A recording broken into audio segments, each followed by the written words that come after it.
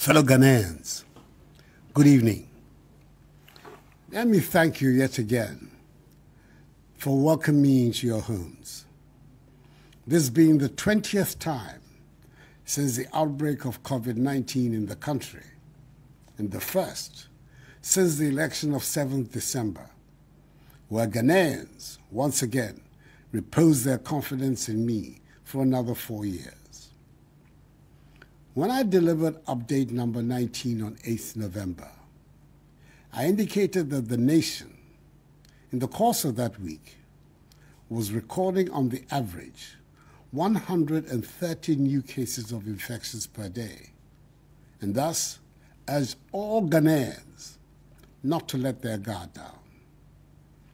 It has been six weeks since that appeal, and within that period, We've had a vigorous political campaign season and elected president and 275 members of parliament by over 13 million Ghanaians across some 38,000 polling stations in accordance with the effective safety protocols put in place by the Electoral Commission.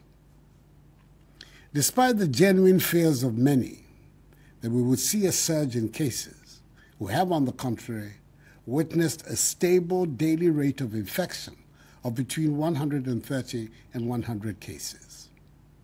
Indeed, the total number of active cases has reduced marginally from 1,139 as of Friday, 6th November, to 946 as of Friday, 18th December.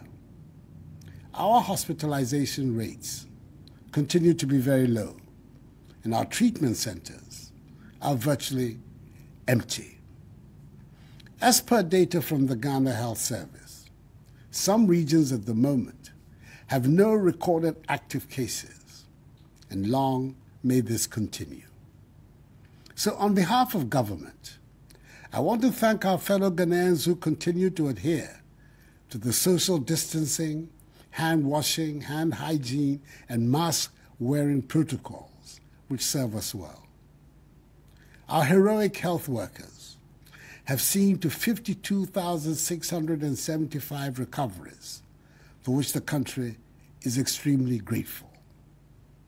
Unfortunately, 13 more deaths from COVID 19 and its complications have been recorded bringing the total number of fatalities to 333 out of the 53,954 confirmed cases.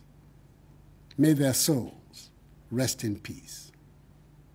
The data tell us that we're experiencing in Ghana clusters of cases linked largely to confined indoor spaces with poor ventilation, workplaces, offices, factories, schools, parties, and arriving passengers at our airport.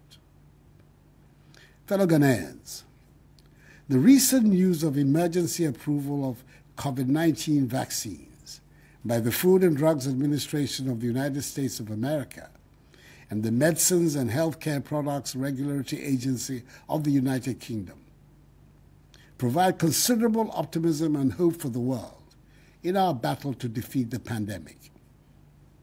Ghana, I assure you, is not going to be left behind in having access to the vaccines. I'm aware of the anxieties relating to the safety and efficacy of newly developed vaccines.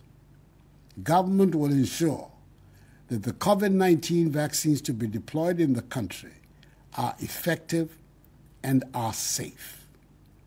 To this end, I've put together a team of experts from the relevant institutions and agencies who are working assiduously towards the procurement and deployment of the vaccines in Ghana. The briefings held by the Ministry of Information will keep the nation updated on this matter. Until then, and with barely a week to the Christmas festivities, which bring in its wake family reunions, parties, and many social and religious gatherings, I urge all of us to err on the side of caution and observe the COVID 19 safety protocols, no matter where we find ourselves.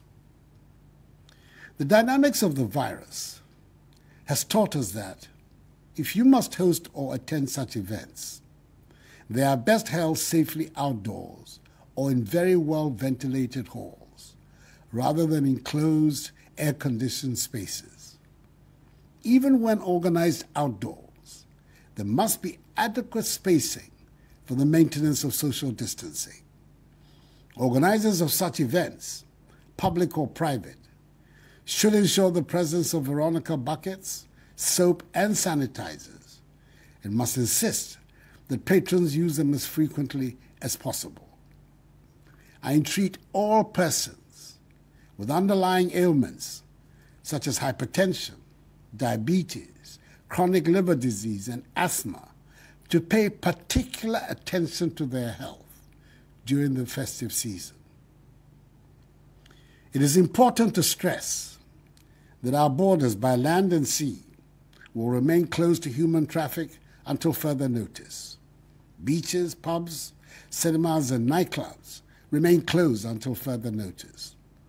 All other institutions that have been cleared to function are to continue to do so in strict adherence to the COVID 19 protocols.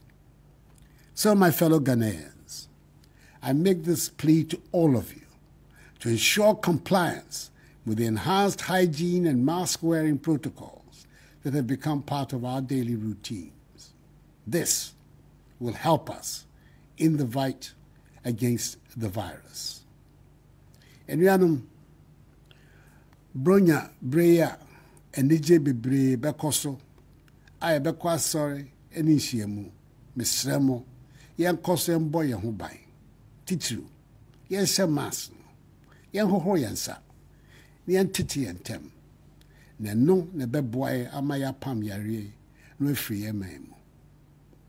Anyememe bronya ne misha pii baba no wo baya somo ke pe mi kpanye fai. Wo ya no ni wo bu wo hi. Titiri wo mask forward ni wo hani gbe aka wo ten no ni ba wa wo. Ni wo hwe hele na keje wo ma na mi. This too shall pass for the battle is still the lord's. May god bless us all in our homeland